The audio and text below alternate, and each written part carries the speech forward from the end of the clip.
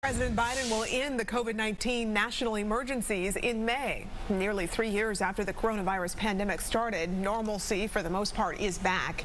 The public health emergency allowed the government to give free COVID-19 tests, treatments, and vaccines. But once it ends, many people may have to pay out of pocket for some of those items. The White House will turn a new page with plans to end the national and public health emergencies on May 11th. Mr. President, if you know it's the right thing to do, don't wait until May. Let's open our country back up again. COVID isn't over. Uh, we've been very clear about that. The administration opposed abrupt termination, arguing it could create uncertainty for the healthcare system. They also say letting the emergency expire immediately would bring chaos to the border because it would lift Title 42, which allows the government to expel migrants at the border, citing COVID-19 concerns. As for student loan forgiveness, the White House says ending the national emergency won't change the legal justification of the plan. Officials say many borrowers still face the risk of default because of COVID-19.